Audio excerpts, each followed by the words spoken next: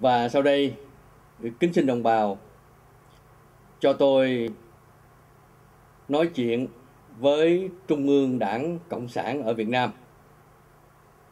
và cũng như nói chuyện với Hội đồng Giám mục Việt Nam và đồng thời nói chuyện với vây cánh của Nguyễn Tấn Dũng.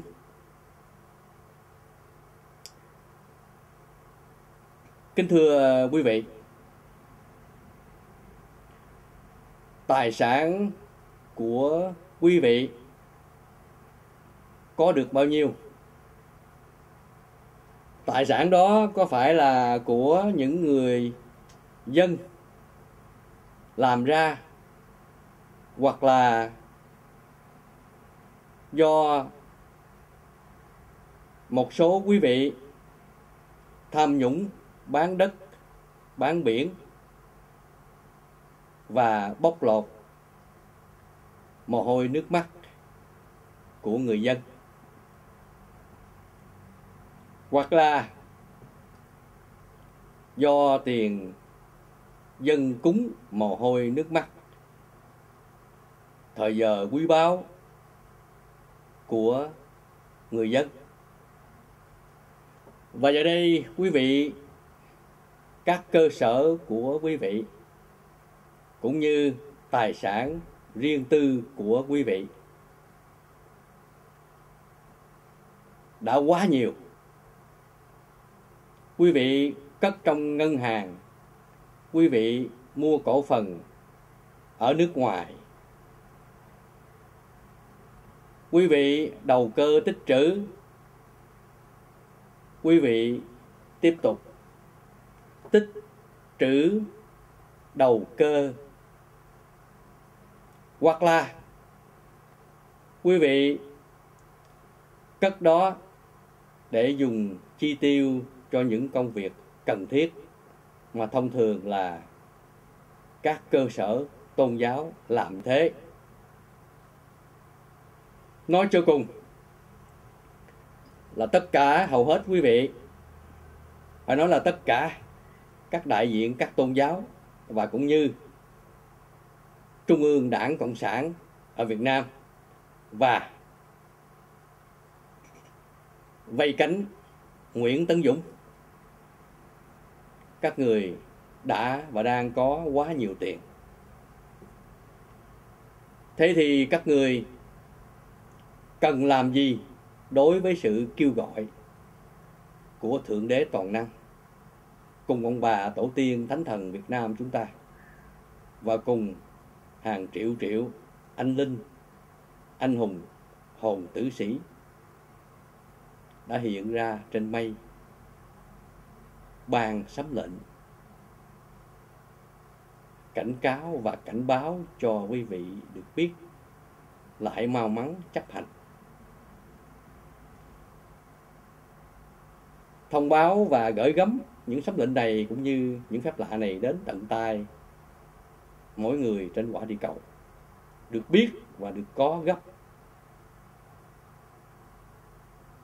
Thế thì quý vị đã làm chưa? Và sẽ làm gì nếu quý vị chưa làm? Đối với những sấm lệnh này và đối với những phép lạ này mà thượng đế toàn năng gián tiếp. Ra lệnh cho tôi gửi sấm lệnh này đến cho quý vị qua truyền thông, truyền hình, internet, youtube. Nếu quý vị chưa làm, thì hãy mau mắn chấp hành.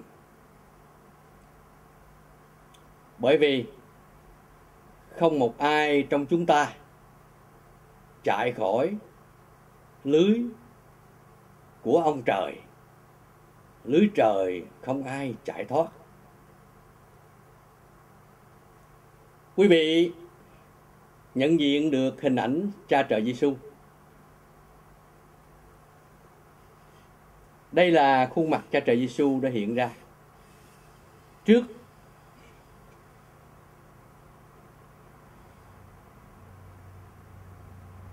rồi sau đó, ngài cho khuôn mặt anh hùng chiến sĩ, hồn tử sĩ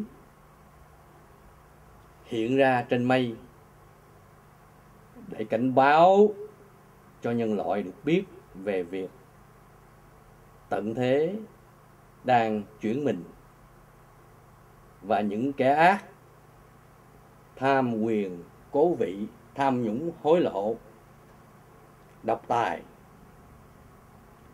Những kẻ giàu có, ích kỷ sẽ lần lượt lập công chuộc tội,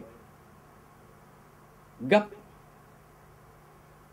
hoặc là những cái đó lần lượt sẽ bị thần chết ở cõi siêu nhiên đến bắt đi và sẽ giam cầm những kẻ không thật sự ăn năn, sám hối, lập công chuộc tội. Đây là hình ảnh trắng đen. Khuôn mặt của hàng triệu triệu anh hùng, hồn tử sĩ đã hiện ra trên mây. Bởi quyền năng của cha trời thượng đế toàn năng, ban cho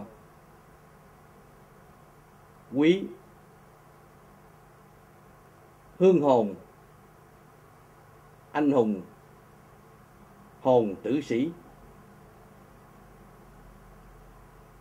Với đầy quyền năng của thượng đế ban cho và sẵn sàng tiêu diệt những kẻ cố chấp kiêu ngạo, khinh thường sấm lệnh của thượng đế toàn năng. Mà tôi đã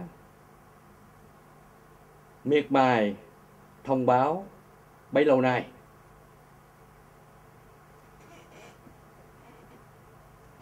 Quý vị nghĩ như thế nào? Nhất là trung ương đảng cộng sản việt nam cũng như vây cánh nguyễn tấn dũng và bọn cầm đầu tàu cộng sẽ đối diện với hàng triệu triệu triệu hồn tử sĩ anh linh chiến sĩ trận vong, hai miền nam bắc việt nam và cũng như tất cả những anh hùng chiến sĩ hồn tử sĩ, trận vong đã hy sinh ở khắp mặt trận trên quả địa cầu sẽ cùng nhau đồng lòng tiêu diệt. Bọn cầm đầu Trung Cộng và cũng như tiêu diệt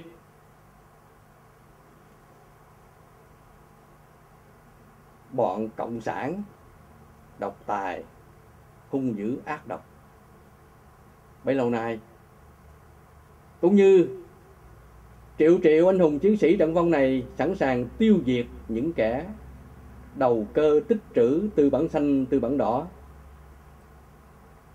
gây chiến tranh, bán vũ khí mà cũng cũng như gây chiến tranh để bán cổ phần làm xáo trộn cộng đồng thế giới. Bấy lâu nay và đây là hình mẫu gốc chụp như thế nào? Chúng tôi in ra như thế.